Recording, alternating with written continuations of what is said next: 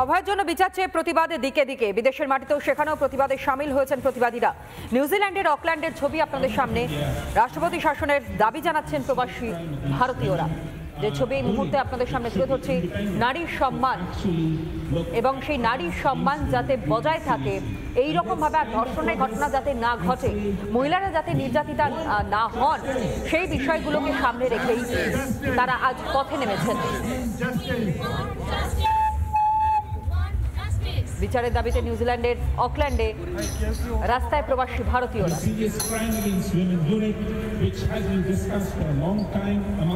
Uh, অভয়ের জন্য বিচার চেয়ে এই প্রতিবাদ বিদেশের মাটিতেও যেই প্রতিবাদে সংগঠিত হচ্ছে দিকে দিকে নিউজিল্যান্ডের অকল্যান্ডের ছবি মুহূর্তে আপনাদের সামনে। যেখানে প্রবাসী ভারতীয়রা তারা রাষ্ট্রপতি শাসনেরও দাবি জানাচ্ছেন।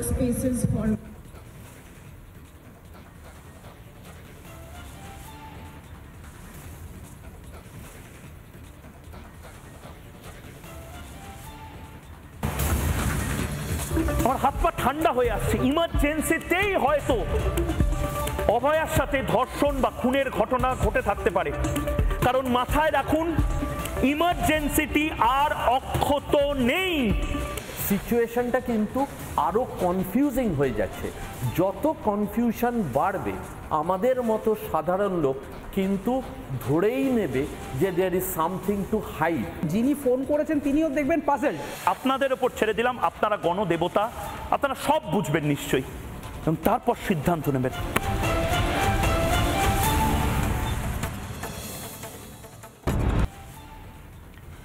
বুধবার হুমকি আর বৃহস্পতিবারই উল্টো সুরে তার ব্যাখ্যা। একদিকে আন্দোলনকারী চিকিৎসকদের হুমকি, আর ঠিক তার অন্যদিকে বিজেপিকে ফোঁস মন্তব্য। দুইয়ের চাপে পিছু হটলেন মমতা বন্দ্যোপাধ্যায়। যদিও মুখ্যমন্ত্রী হুঁশিয়ারিতে ভয় না পেয়ে আরও চোয়াল শক্ত করছেন আন্দোলনকারীরা। তার কারণ আমি চাই ওরা ভালো করে পড়াশুনো করুক। আমি যদি কারোর বিরুদ্ধে এফআইআর করি তার ভবিষ্যৎটা নষ্ট হয়ে যাবে। সে আর কোথাও চান্স পাবে না পাসপোর্ট পাবে না ভিসা পাবে না। আমি যদি কারোর বিরুদ্ধে লিগালি অ্যাকশান নিই, সে বিচার পাবে না। সে মনে রাখবেন তার জীবনটা পুরো নষ্ট হয়ে যাবে।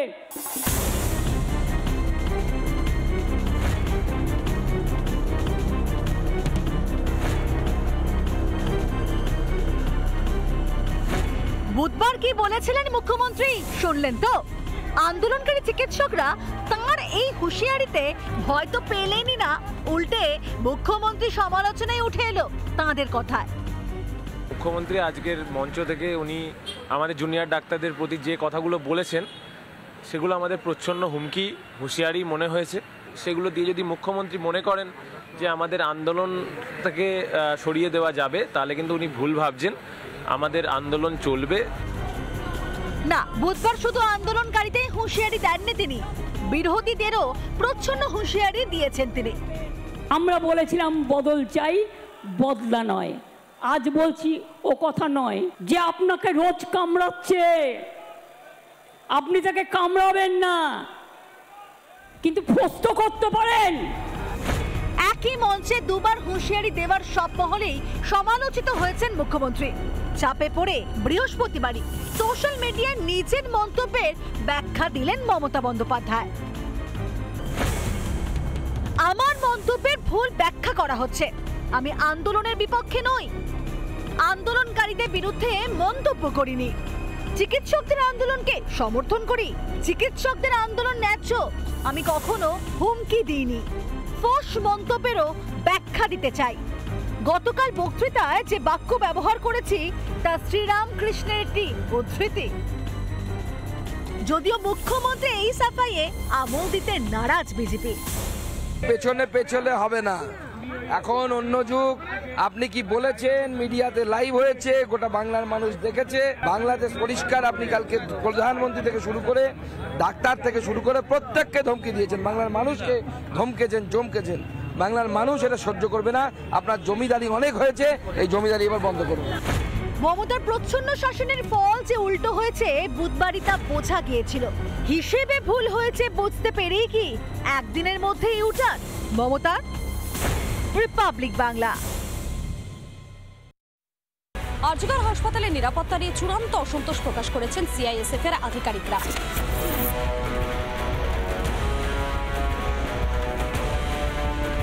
সিআইএসএফ আধিকারিকদের এই বৈঠকের পর হাসপাতালের নিরাপত্তা সংক্রান্ত যে বিষয়গুলো সামনে আসছে, তার ফলে কিন্তু চিকিৎসকদের যে দাবি, সেই দাবিতে আরও একবার শিলমোহর করে গেল।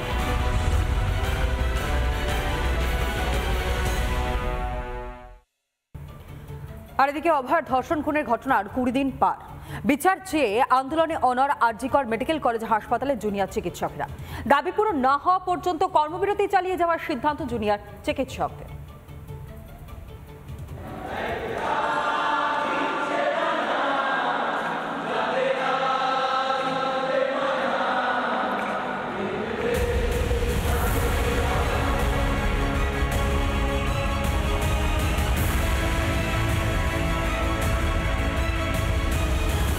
অভয়াকে ধর্ষণ ও খুনের প্রতিবাদ। বৃহস্পতিবার আর্চিকর হাসপাতাল থেকে শুরু করে রাজপথ। বিচার চাই স্লোগানে মুখরিত কলকাতা। মেয়ের বিচার চাইছে গোটা বাংলা সারা দেশ।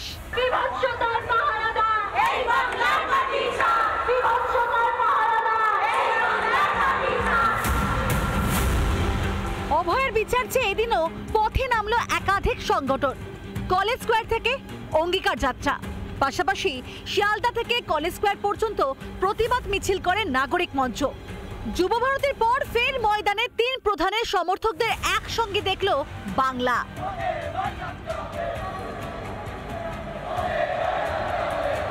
বৃহস্পতিবার কলেজ স্কোয়ার থেকে শ্যামবাজার পর্যন্ত হাতে হাত রেখে বিচার চেয়ে মিছিলে হাঁটলেন ইস্টবেঙ্গল মোহনবাগান ও মোহামেডান স্পোর্টিং এর সমর্থকরা।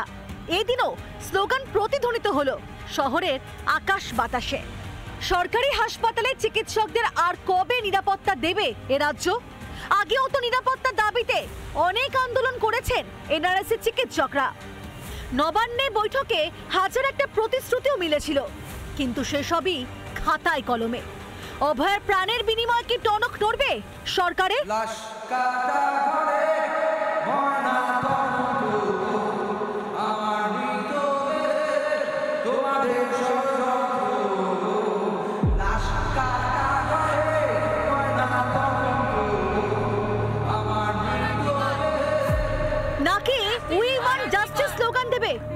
পরবর্তী প্রজন্ম? রিপাবলিক বাংলা।